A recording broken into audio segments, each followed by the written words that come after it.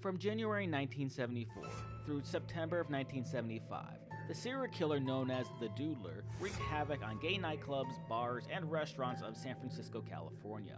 The Doodler got his name by drawing his victims before sexual encounters prior to killing them. It is believed that he's responsible for up to 16 murders and 3 assaults. Of all of his victims, only 3 were able to survive. All of his victims were stabbed in the front and back of their bodies in similar locations. The person suspected of the killings was described as a man being between the ages of 19 and 25, of African descent, and was about 6 feet tall with a slender build. The Doodler's first victim is believed to be a man by the name of Gerald Earl Cavanagh. He was found on January 24, 1974, fully clothed lying face up on Ocean Beach in San Francisco. Was determined that he was conscious at the time he was killed and attempted to resist due to his self-defensive wounds. He was originally known as a John Doe because of very few details being available about his personal life. The police suspected a young man as a murder suspect, but could not proceed with charges due to the surviving victims not wanting to out themselves by testifying against him in court. Among those stabbing victims were a well-known entertainer and a diplomat. The suspect cooperated with the police during their questioning, but never admitted to any guilt for the murders or attacks. It is strongly believed by police that they had their man if not for the survival's refusal to appear in court. To this date, he's never been named publicly or been apprehended. In fact, very little is available to the public about what he did. As of May 2018, the case is still open and ongoing in the San Francisco Police Department. In February 2019, they offered a $100,000 reward for any information leading to the arrest of the killer. The Long Island serial killer, also known as Lisk, the Gilgo Beach Killer, and the Craigslist Ripper terrorized his victims from 1996 to 2010. The police suspect that the killer has murdered around 10 to 16 people. The victims were mostly sex workers and were left in the areas of the South Shore of Long Island, New York.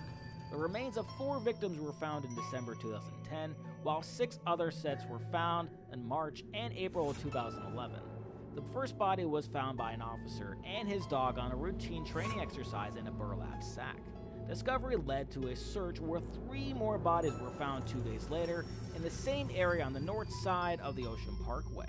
It was theorized on November 29, 2011, that one person was responsible for the murders of all the remains that were found due to common characteristics among the condition and forensic evidence related to the bodies. John Bittrolff, who was already convicted in May 2017 and sentenced later that year for homicides of two other sex workers in 1993 and 1994, was a suspect in at least one of the murders. Other suspects have been former Suffolk County Police Chief James Burke, Joseph Brewer, Dr. Peter Hackett, and James Bissett. The media has speculated that it's most likely a white male in his mid 20s to mid 40s who was familiar with the south shore of Long Island and has access to burlap sacks that he used for disposal of all of his bodies. He may also have detailed knowledge of law enforcement techniques and perhaps ties to law enforcement itself, which would have helped him avoid detection so far.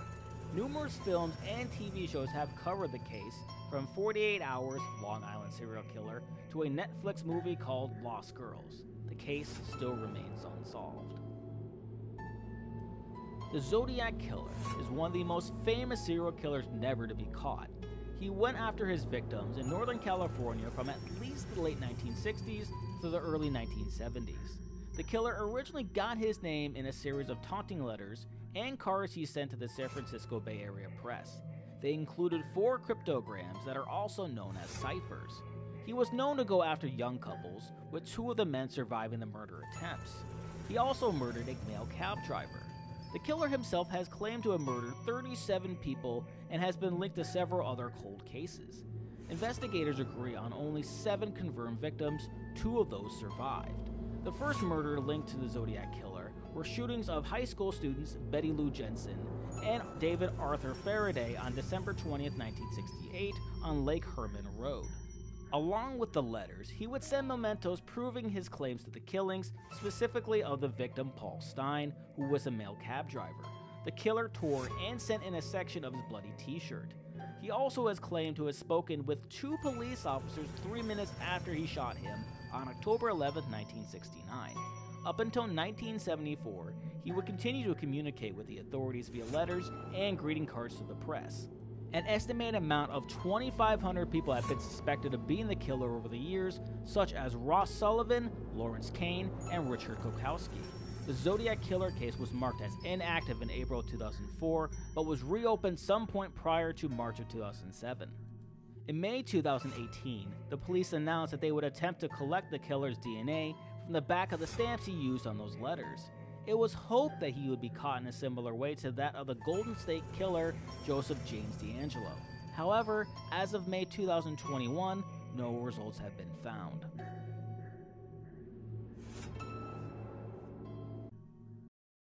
Thanks for checking out this video. Please subscribe as I put out new videos every Tuesday and Thursday.